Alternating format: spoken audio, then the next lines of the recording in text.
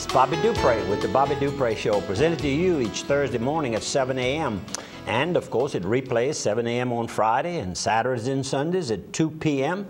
And my sidekick here, Mr. Andrew Gitros. Well, good morning. You ready to go for one long hour? I'm ready. It's a short hour, the though. Longest half hour in television. That's how it started. That's how it started. But we we should go longer, but uh, we can't buy the airtime. That's right. they don't want to sell us that much airtime, uh, and and that, and that's that's serious. We we leave out a lot every week, but uh, it's good that way. We we try to get uh, some of the good things. It's all we only talk about the good things on the Bobby Dupre show. And uh, of course, we're starting our 36th year on KSLO and its affiliate now, uh, 105.3 out of Simmesport.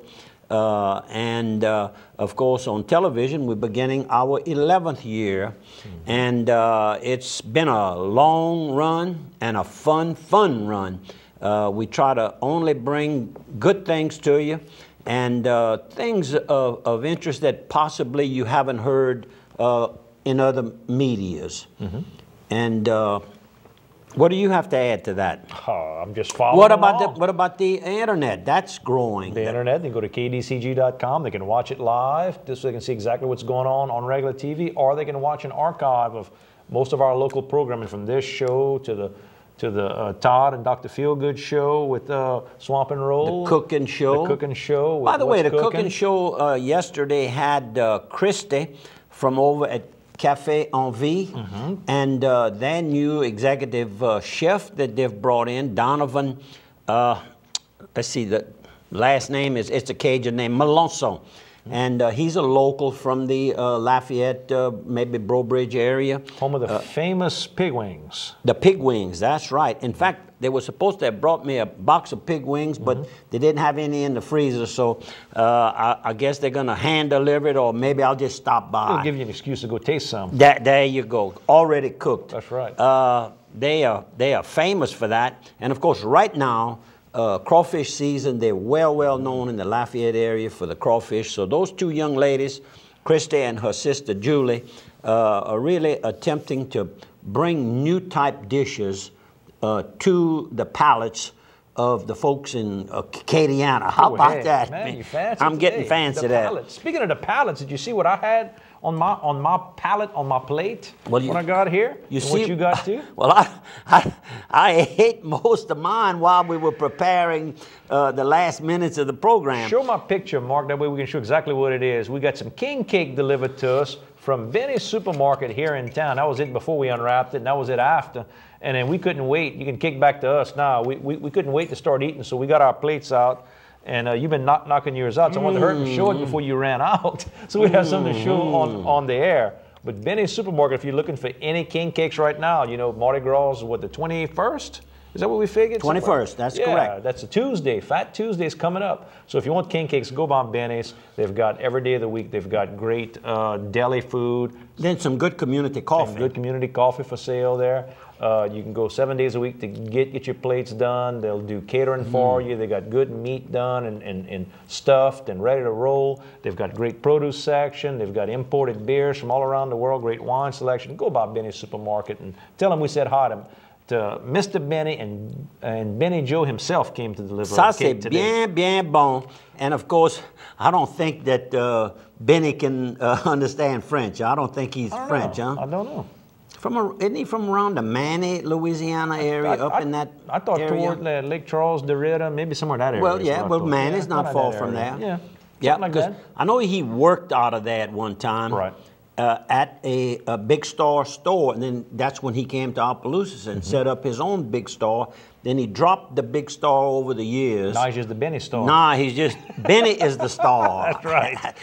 Good morning, and thank you, little Benny, for hand delivering that to us this morning. And how about another Mm. sponsor? Carl's Thrifty Way. All your medicinal needs, go by Carl's. They can help you out with over the counter medications, your prescriptions as well. They've got a great gift selection there. They do gift wrap, they do home decorating type ideas as well. If you got to go and get your medicine done, go talk to the people at, at Carl's. They've got time to explain to you exactly what to expect from the prescription that you're taking. What else we got? Well, Oh, Mardi Gras. Let's talk about two things there real quick. while, while I'm thinking about it real fast, on Monday night, that's Lundi Gras, there's going to be a band playing at the Vieux Village, Mm-hmm. right there along the gates of, of the city. Uh, I think it's Geno Delafose is going, to play. It and then, is. And then Mardi Gras Day itself is going to be the Franks Parade. So that's all going to be in that same area. So if you're looking, call Franks and you can get your permit to get your trailer. Understand that the weather's going to be nice, Mm-hmm.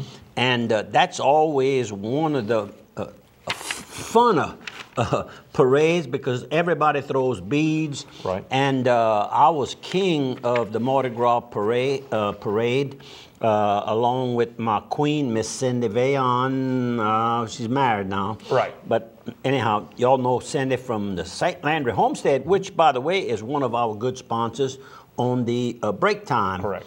And uh, Cindy's been there a whole long time.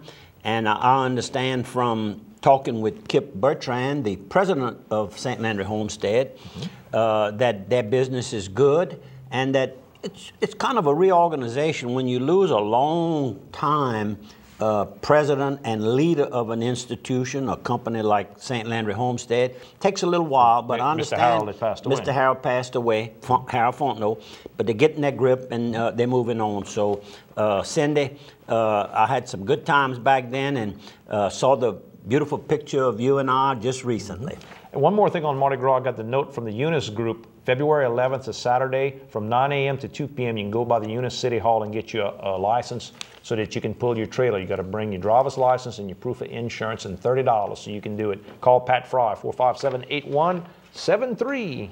The weather was perfect. The crowds were huge. They had over 32 teams that signed up for the uh, gumbo cook-off that was held last weekend at uh, Frank's. Uh, Chip Burleson, the owner there, and uh, Jason Hugay, the owner of the Steamboat Warehouse Restaurant, teams up each year, and uh, this was the biggest one. Uh, I know we Tim, certainly. Tim Marks helps him as well. He's one of the big organizers there Tim well. Marks, that's right. I went in Friday afternoon and, and looked at the place. They've made some changes. They've taken that wall out. You remember how to, when you walked in the front, it was kind of small, You had, you had like two rooms. two rooms. Well, now they've taken that wall completely out, and now it's just one big room. It, it's a good idea, Chip. It looks good. And uh, Tim was there making the final uh, arrangements uh, uh, of getting that all worked out. And we uh, understand that the funds raised were, were, were very, very uh, needed, and, and there were quite a bit of them. And I know I want to give a donation. I, I was going to go, we got back kind of late from Lafayette. And uh, I know little Joe Gotcha always wants to give. If he didn't go bring his uh, Saturday or Monday, uh, y'all contact little Joe Gotcha.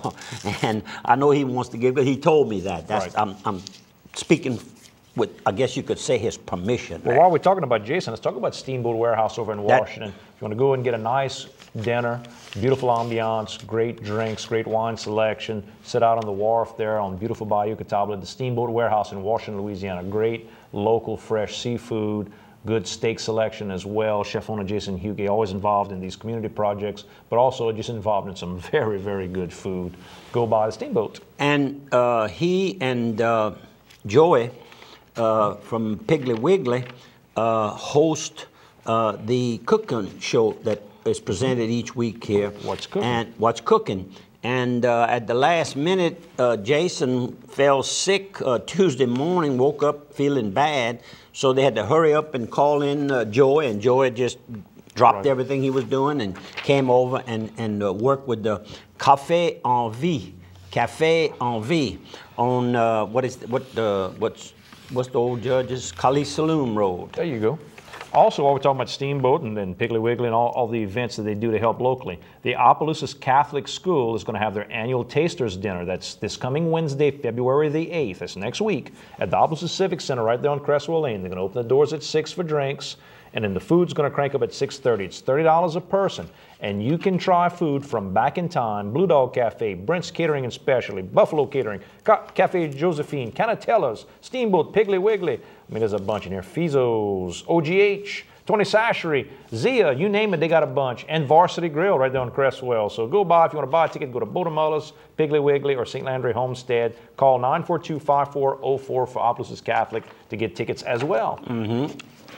Can you get something else Oh, while I, I sure little bit? can. How about the uh, Friends of the Library? Their function is coming up. Friends of the Library is going to be on Valentine's Day, February the 14th, over at the Evangeline Downs Event Center. They're going to have a luncheon where you're going to be able to eat sandwiches and have a little cup of gumbo. I think the tickets are what uh, was it, fifteen dollars a piece? Is what it was, fifteen a piece. That you can get your tickets. You know, we already got our tickets in, but while you're there, uh, the the uh, Secretary of State is uh, no, it's Secretary of State. Lieutenant Governor Jay Dardenne will be giving a Used to talk. be. Used to be Secretary of State. That's what I was trying to remember.